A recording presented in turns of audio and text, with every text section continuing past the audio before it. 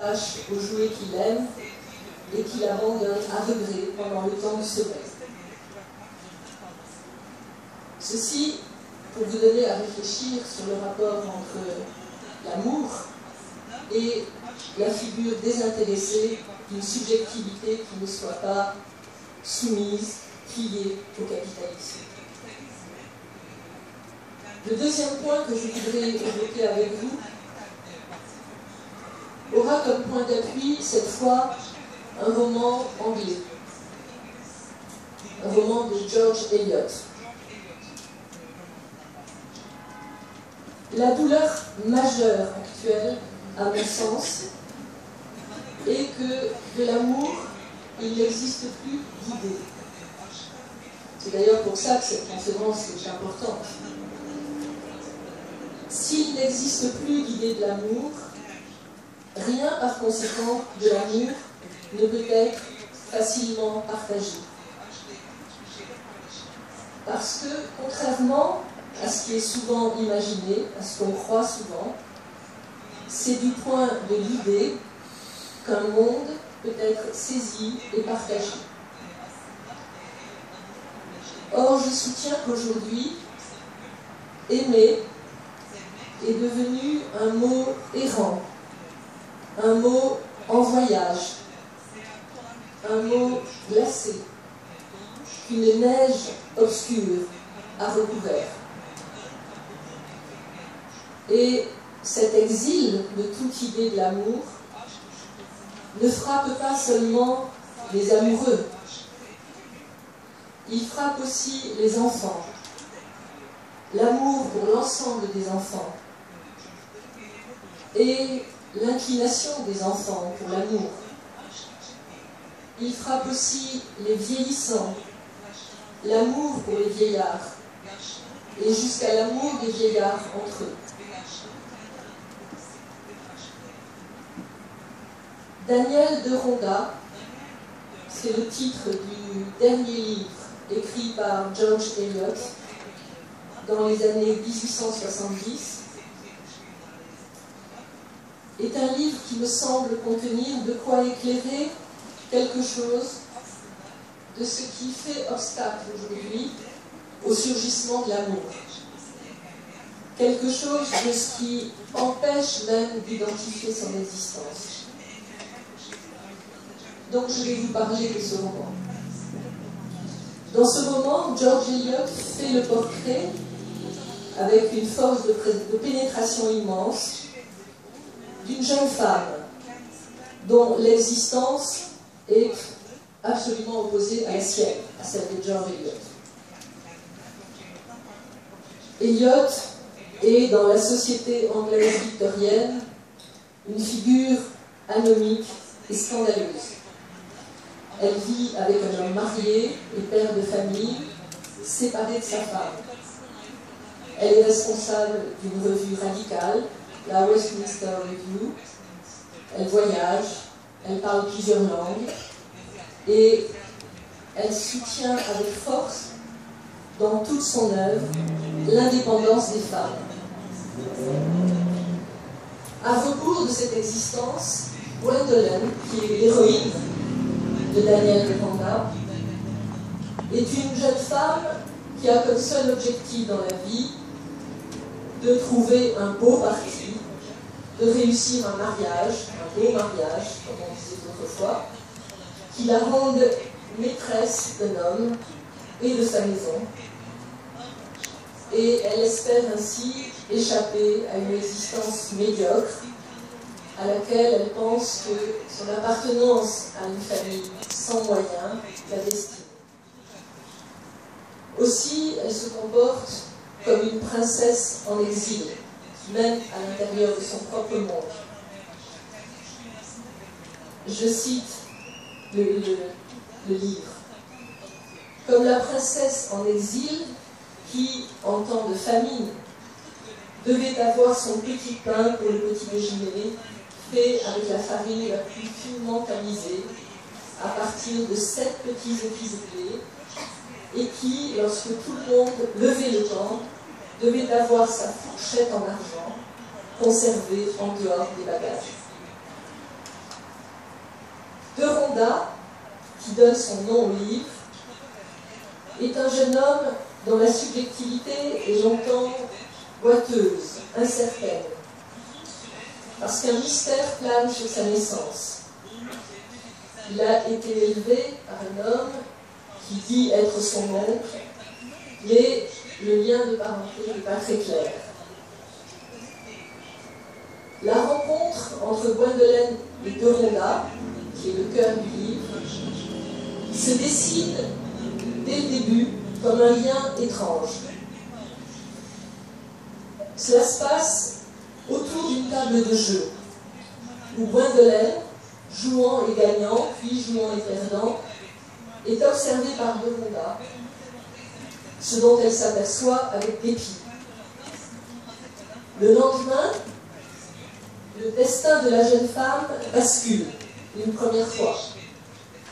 Elle apprend que sa mère vient d'être ruinée au moment où elle-même se voit obligée de vendre en cachette un collier précieux pour compenser ses pertes au jeu et couvrir les frais du voyage de retour dans sa famille. Or, peu après, ce collier lui sera rendu, racheté par un individu anonyme, dans lequel Gwendolyn soupçonne qu'il ne peut s'agir que de Doronda. C'est une sorte de scène primitive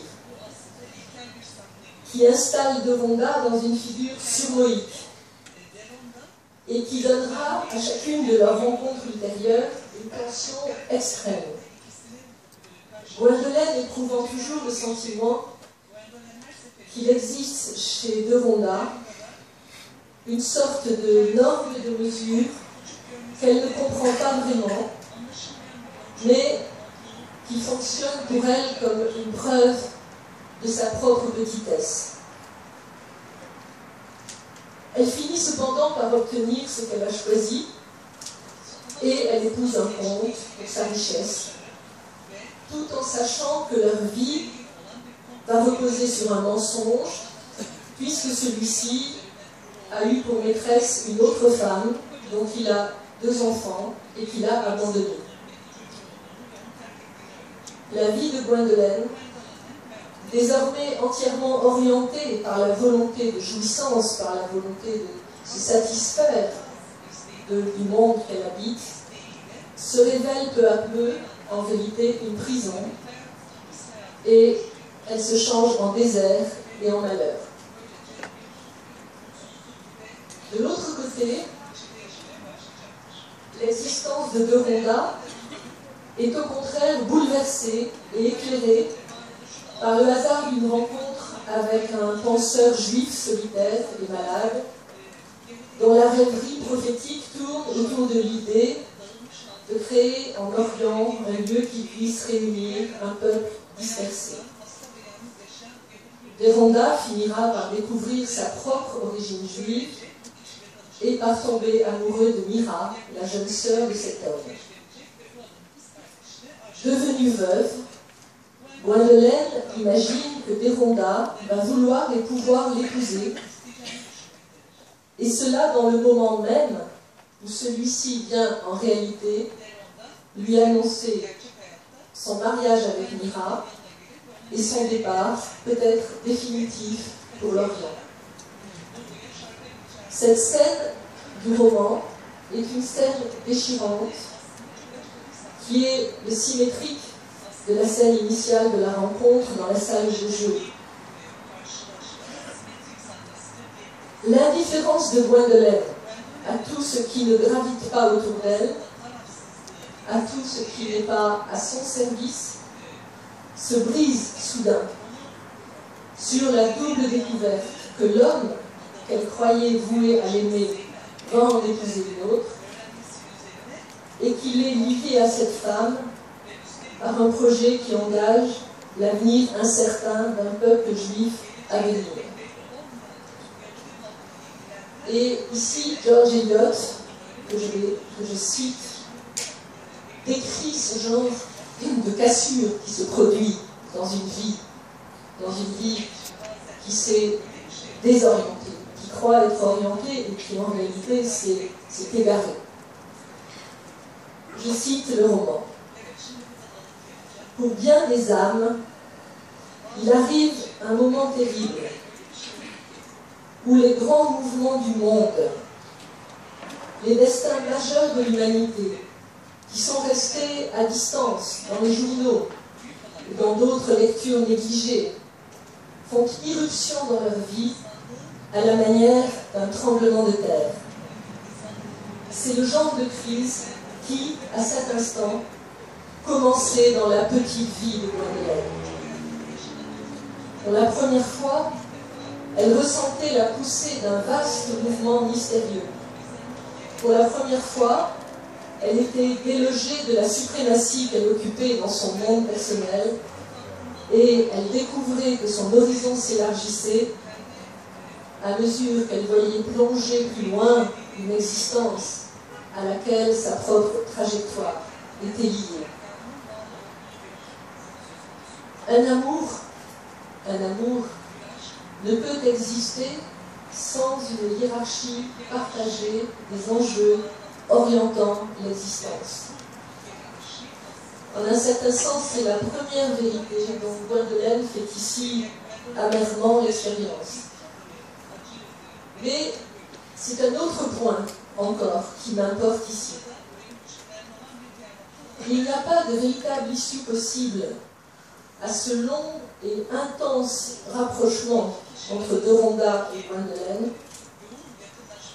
parce que le mot amour est le seul qui viendrait nommer les termes du choix auquel Doronda est confronté. Aimer Lyra, qu'il va épouser, ou aimer Gwendolen.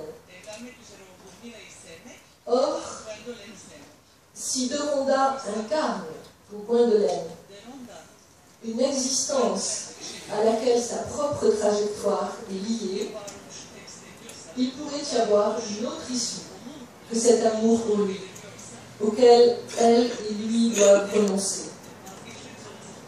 Et pour moi, la grandeur étonnante du roman d'Eliot est de se refermer sur la nécessité impérieuse d'un lien encore innommé, un lien sans nom. Et le roman inscrit le manque de ce nom et de ce lien. Ma conviction est que le seul nom amour ne peut pas porter ni couvrir tous les liens intenses existants. Je précise que je ne crois pas non plus au nom polyamour que certains ont forgé sur le modèle de polygame. Parce que c'est un nom qui, au plus loin d'aider à élucider les nouveaux liens, redouble et aggrave au contraire la confusion dont Gwendolen est victime. Et je voudrais insister sur le point suivant. L'amour croule sous des charges qui ne devraient pas lui revenir.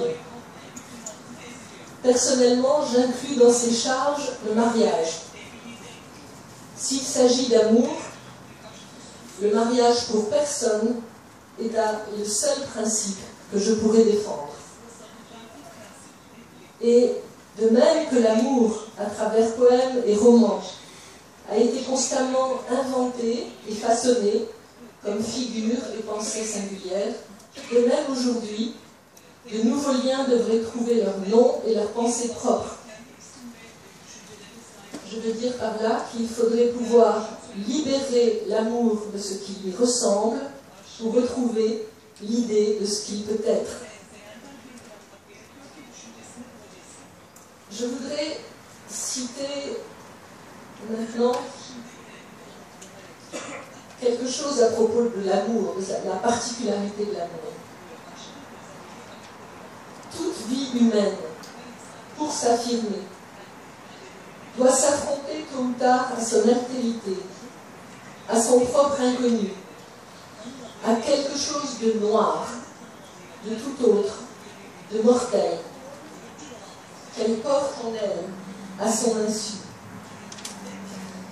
Sans cette épreuve et sa traversée, rien d'humain ne saurait venir au jour, ni se construire dans la durée. C'est un écrivain appelé Charles Mella qui écrit ceci dans des variations sur l'amour et le Graal, sur les grands cycles amoureux du Moyen Âge en France. Voici le point que je trouve important. Il n'y a pas d'amour qui ne rencontre dans l'aimé son propre inconnu. C'est pourquoi, on en a parlé tout à l'heure, il est tellement absurde de vouloir fonder une rencontre amoureuse sur l'élimination de l'inconnu, sur la coïncidence maximale des goûts et des habitudes. Car l'amour porte en lui le désir. Et le désir est à la fois totalement sûr de ce qu'il veut et totalement aveugle à ce qu'il cherche. Vous savez, c'était la représentation de l'amour avec un bandeau sur les yeux. Il y a donc toujours dans l'élection amoureuse un point opaque qui résiste à tout savoir.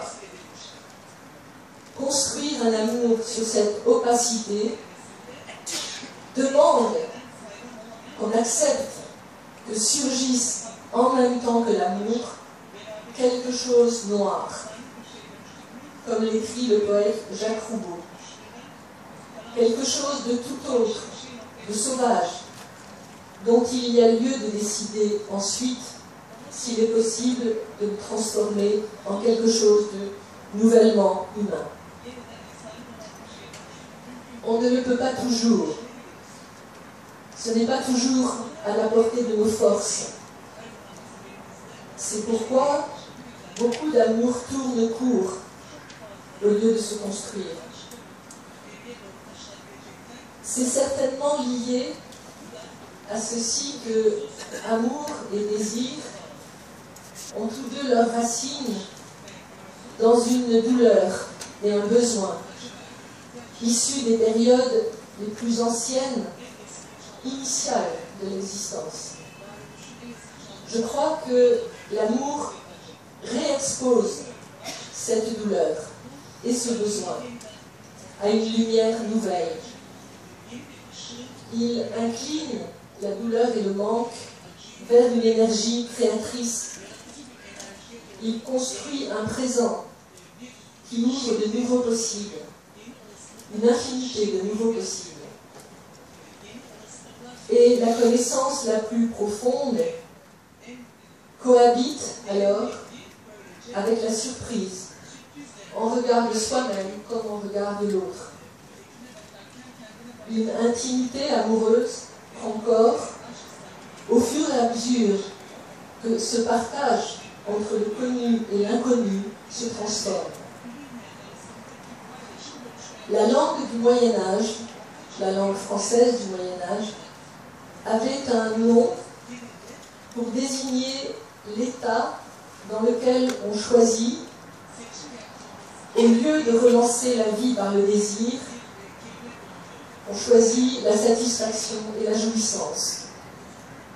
Ce mot, c'est le mot récréance, que je ne peux pas traduire de l'ancien français en français moderne. Il faut garder le mot récréance. Mais je vais en donner la définition. Être récréant, c'est avoir renoncé à mener sans jamais se lasser une vie d'épreuve. C'est renoncer à assumer le risque et préférer à la constante relance du désir l'enfermement dans la jouissance. Or, la récréance est une subjectivité du monde actuel, sur laquelle vient se briser l'amour. Et c'est pourquoi je fais revenir ici ce mot.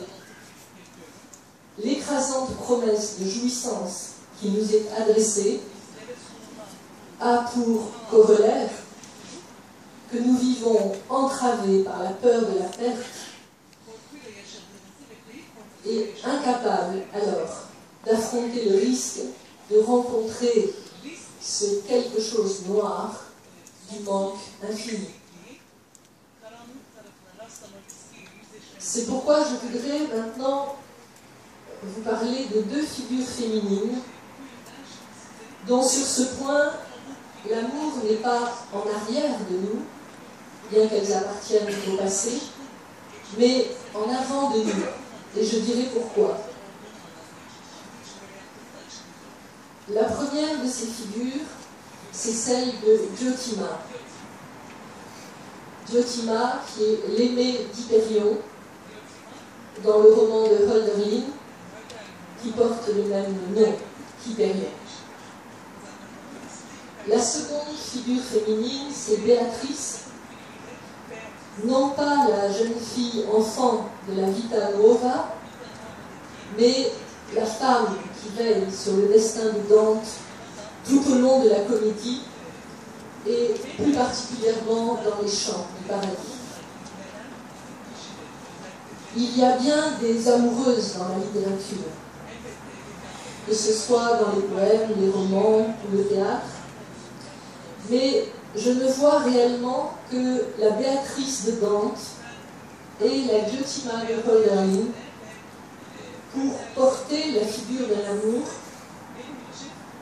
capable d'orienter de part en part l'existence de l'homme aimé, et cela non pas seulement dans le champ de la vie commune, mais bien dans la conception et l'exigence d'une œuvre à accomplir.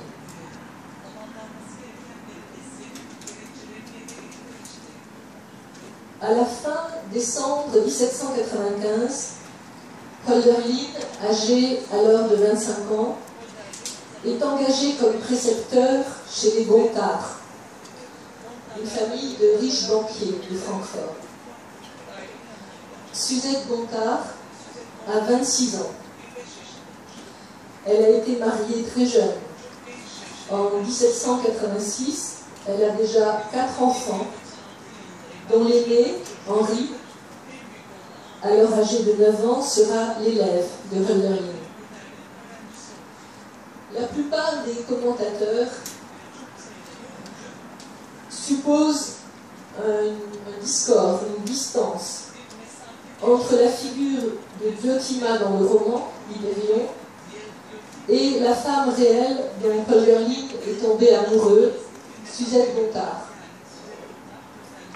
Du coup, l'enthousiasme d'Hyperion dans le roman, à l'endroit de Diotima, est considéré comme appartenant au culte romantique de l'amour et le personnage de Diotima est traité comme si c'était une figure, une faible figure, une apparition éthérée, alors même que Diotima est sans aucun doute l'un des personnages les plus vigoureux, les plus fermes, les plus intenses de tout le livre.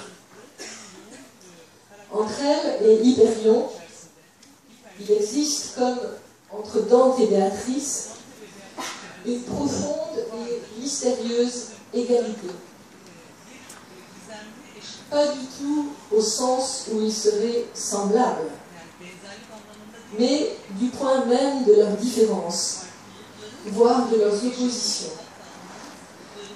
Chacun reconnaît en l'autre des capacités que le monde qui les entoure ne voit pas, ou dénie, ou méprise.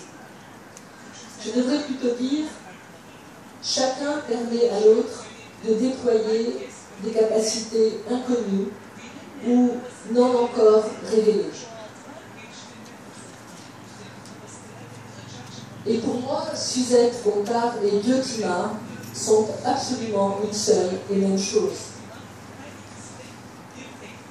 Que Suzette Diotima se sépare absolument du monde qui l'entoure, de la société dans laquelle elle vit, c'est ce que Hölderlin perçoit dès son arrivée chez les Gontard. Et c'est ce que rediront chacun des poèmes par la suite dédiés à Diotima comme celui-ci écrit dans les années 1797-98. Je cite les deux vers du poème. Belle vie, tu vis comme d'hiver la fragile floraison. Dans un monde vieilli, tu fleuris close, esselée. Leur rencontre, l'insondable alliance qui se noue entre eux, ont d'abord pour fondement cette distance partagée au monde vieilli qui les entoure et les étouffe. Hölderlin discerne en Suzette et dépeint en Diotima un être resté proche de l'enfance, qui a préservé une plénitude du rapport au monde, non contaminée ou détériorée par les usages, les contraintes, les savoirs. Elle a conservé une unité, une énergie que l'Hyperion déplore avoir perdue. En elle, l'intensité première du rapport au monde, au monde vivant, demeure vive. Voici ce que dit d'elle Hyperion. Je n'ai connu personne qui souffrit moins de manque et jouit d'une plénitude aussi divine. C'est par sa médiation que cette source qui nourrit en lui l'élan créateur se rouvre en Hyperion. Il pressent en cette femme le point d'appui possible de sa maturation, de sa transformation, non pas seulement en artiste, mais en homme accompli. Et inversement, l'amour pour Diotima fait d'Hyperion le seul à même de rendre pleinement justice à ce qu'elle est. Je cite encore Hyperion. Où est celui qui, mieux que moi, lui reconnu N'a-t-elle pas tremblé de bonheur devant son propre éclat la première fois qu'elle se découvrit dans ma joie? Comme entre Dante et Béatrice, amour est le nom d'une puissance qui travaille en chacun au bien de l'autre, à une mise en excès réciproque, l'un et l'autre se portant ainsi au plus haut d'eux-mêmes. Selon ce mouvement que décrit si magnifiquement Hölderlin dans un autre poème dédié à Diotima. Je cite le poème. C'est un poème très simple. Pour t'atteindre, j'ai lancé mon canot tout somnolent. Du port mort, les relancer dans le bleu de l'océan. Au plus loin de la clôture sur soi de l'égoïsme, un tel amour est clairvoyance et connaissance. Il est aussi le creuset d'une confiance immense en la volonté de l'autre. Parce que cette volonté procède d'un discernement sans faille de ce qui compose l'être intime de celui qui est aimé. Et pour moi, si une chose ne fait pas de doute, c'est bien que l'amour du Périon et du Diotima atteste à quelle profondeur Hölderlin et Suzette Gontard se sont trouvés et aimés. J'ajouterai que de même que Béatrice dans le paradis est l'interlocutrice privilégiée de Dante sur toutes les questions brûlantes de l'intellectualité de leur temps, de même, Diotima intervient en son propre nom pour trancher des questions aussi complexes que le rapport de Paul Derlin à la Grèce antique, le désir et le projet d'un État libre, ou la pensée de la mort comme non-séparation. Sur chacun de ces points, l'intensité de la dispute amoureuse en fait le foyer sans équivalent d'une découverte du vrai chemin de l'orientation juste.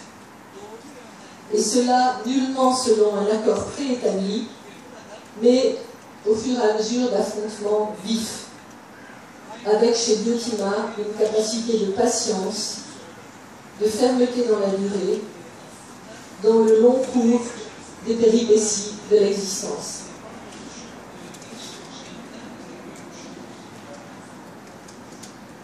Dans Hyperion, Hölderlin écrit ceci à propos de la rencontre avec Diotima. Il y a ici une lacune dans mon existence. Je mourus. Comme je m'éveillais, je tenais la jeune fille entre mes bras. Je crois qu'on ne peut pas dire avec plus de force le saisissement de l'un par l'autre dans la rencontre amoureuse. Ce moment où une nouvelle naissance succède à l'évanouissement dans la mort. Et il poursuit, tout était devenu si subtil, si fort, si ardent, si léger, que l'on eût dit le vieux monde mort et l'avènement avec nous d'un monde nouveau. Que la naissance d'un Dieu de l'amour transforme le monde lui-même, instaure une coupure entre un monde renvoyé au passé et à la mort et le surgissement d'un monde d'une autre puissance, cela n'a sans doute jamais été nommé avec autant de précision et d'exactitude.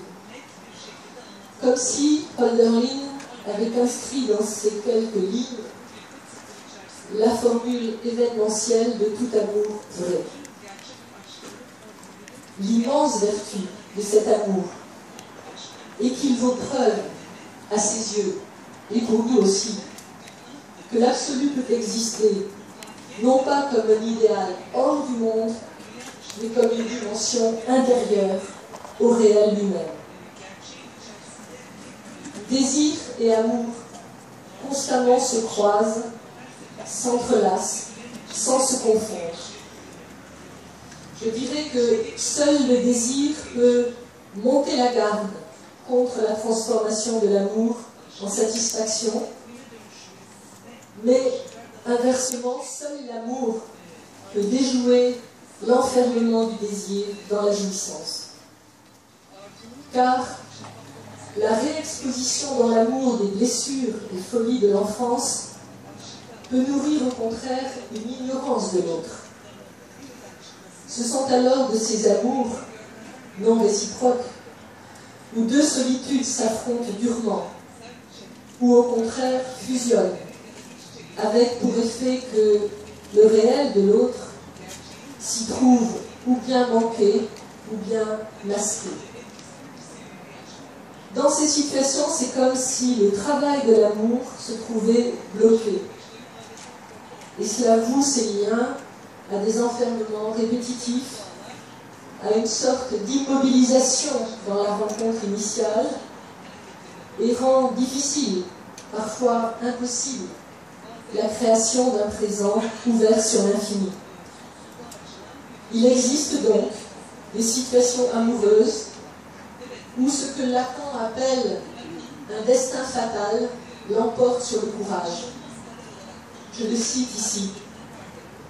L'amour, l'amour quand il existe, ne peut réaliser que ce que j'ai appelé par une sorte de poésie pour me faire comprendre le courage au regard de ce destin fatal, ce destin fatal de la séparation, de la non-réciprocité du lien entre les.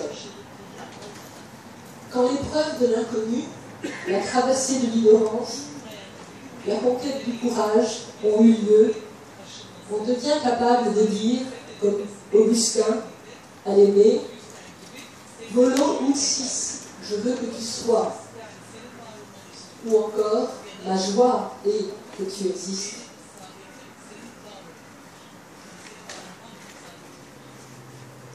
Un homme de théâtre français, Antoine Vitesse, au moment où il mettait en scène à Milan le triomphe de l'amour de Marivaux, écrivez ceci à propos du triomphe de l'amour, à propos de cette pièce. L'ai-je dit déjà? Le dégoût parfois me saisit de ce théâtre cruel. C'est trop, c'est trop dur, trop cruel. On a envie de demander grâce. Cette représentation du monde et des passions me lasse à la fin me fait honte. On voudrait un peu de bonheur. le vieux docteur Faust, auquel Antoine Vitesse s'identifiait souvent, le vieux docteur Faust se couche sur l'herbe. Il voudrait mourir, mais l'herbe est humide et les insectes autour de lui bruissent et il entend les cloches et les chants et la résurrection. D'où viendra-t-elle la résurrection? D'un amour, d'un amour qui ne serait pas une guerre et ne porterait pas en lui-même le malheur et la destruction. Une bienveillance, peut-être. Cette aspiration à moins de cruauté,